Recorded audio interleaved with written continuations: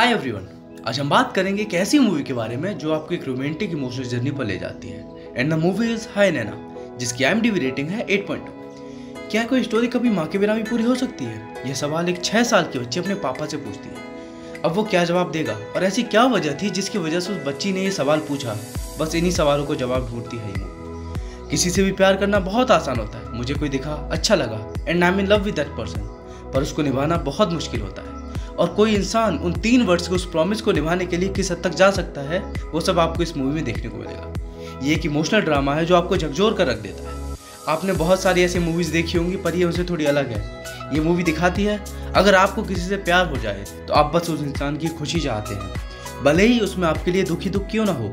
प्यार में इंसान कैसे अपने स्वार्थ को भूल के अपने पार्टनर की हैप्पीनेस चाहता है, वो बहुत ही ब्यूटीफुली दिखाया गया है। ये मूवी फादर डॉटर रिलेशनशिप को इतना अच्छे से दिखाती है कि आपकी आँखें भर आती हैं। और आप भी इस मूवी का एक अटूट सा हिस्सा बन जाते हैं। मूवी के कुछ शॉट्स बहुत ही प्यारे हैं। जैसे वो हॉस्पिटल का सीन वो आपको अंदर से तोड़ देता है और आपको पता चलता है कि आपका सब कुछ है, पर कुछ भी मायने नहीं रखता अगर आपकी ज़िंदगी से आपका सबसे हसीन पल छीन लिया जाए। या कोई ऐसा इंसान जिसके बिना आप अपनी ज़िंदगी कभी इमेजिन नहीं कर सकते। वो दुख, वो हेल्पलेसनेस की फीलिंग शब्दों में बयां करना बहुत मुश्किल है। इसमें कुछ ऐसे सीन्स भी हैं जो आपके चेहरे पर एक प्यारी सी मुस्कान ला देते हैं। वो इनर जॉय जो आपको फील होता है, उन कुछ मोमेंट्स को विटनेस करते हुए, उसकी बात ही अलग। है ये एक इमोशन हैवी मूवी है, जिसको अगर आपने नहीं देखा तो आप बहुत कुछ मिस कर रहे हैं। ये मूवी बताती है कि अगर कपल्स के बीच में डिफरेंसेस हैं तो उनका खामियाजा, उनके बच्चे और परिवार सब भुगतते हैं।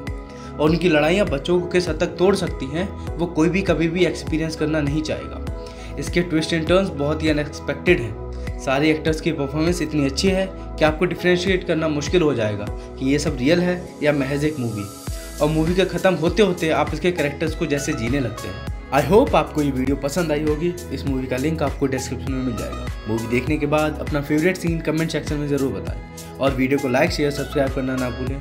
अगली वीडियो में फिर मिलेंगे सिनेमा जगत की कुछ अलग फ़िल्मों के साथ। तब तक के लिए be safe be happy and thanks for watching